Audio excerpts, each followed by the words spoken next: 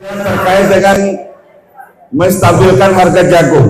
Tadi juga kami sudah sampaikan, kami insya Allah akan menghadirkan industrialisasi dan ini memang sudah sejak lama kami upayakan. Insya Allah kata dari penyampaian dari investor, insya Allah ke depan ini bila kami menang lagi, insya Allah akan dihadirkan pabrik pengolah pakan ternak. Tentunya kalau pabrik tersebut sudah ada di Dongku, sudah hadir di Dongku, insya Allah harga jagung ini tidak akan naik turun, pasti akan stabil. Kemudian ada juga bulog di Manggelewa sana, itu adalah bantuan dari pusat, itu ada atas dasar usulan kami untuk membantu menstabilkan harga. Jadi tidak lagi dikuasai oleh para pemilik gudang-gudang swasta yang lain yang ada di daerah. Itu tujuannya.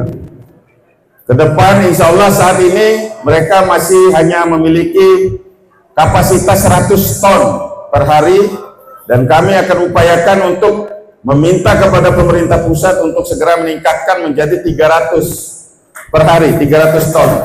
Sehingga penyerapan jagung penyerapan jagung di daerah kita tiap hari itu akan lebih besar. Dan tentu harga itu akan menjadi penyeimbang bagi gudang-gudang lainnya insya Allah.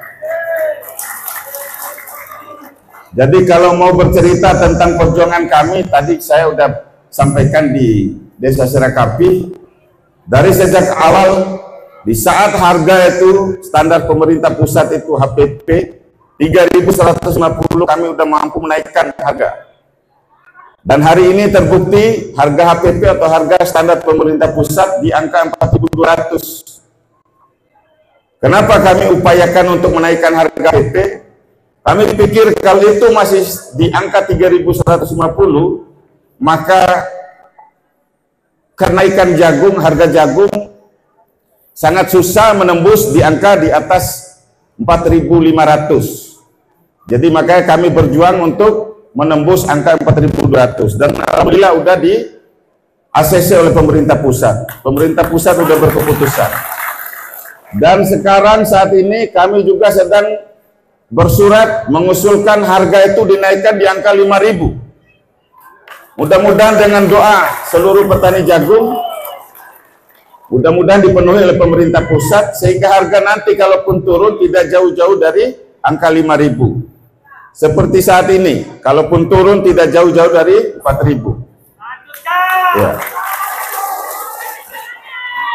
Jadi kalau ada isu-isu, tapi Mada yakin orang desa Serakapi dan desa Seneo, seluruh masyarakatnya tidak akan percaya lagi terhadap isu-isu sesat yang dimainkan oleh lawan politik.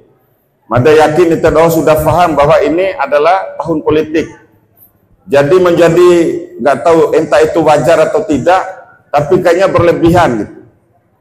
Di saat 2021, 2022, 2023 kami mampu mem membantu masyarakat petani jagung.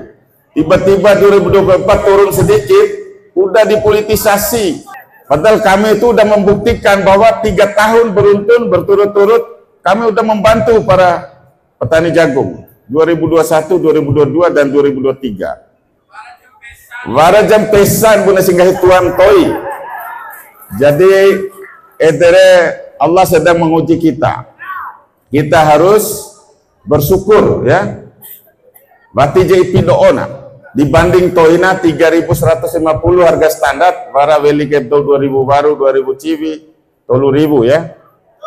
Mudah-mudahan ke depan ke kita harus kompak bersama-sama bantu wali mata sekali supaya apa yang jadi harapan kita doa insya Allah mata doa berdua akan memperjuangkan semaksimal mungkin seoptimal mungkin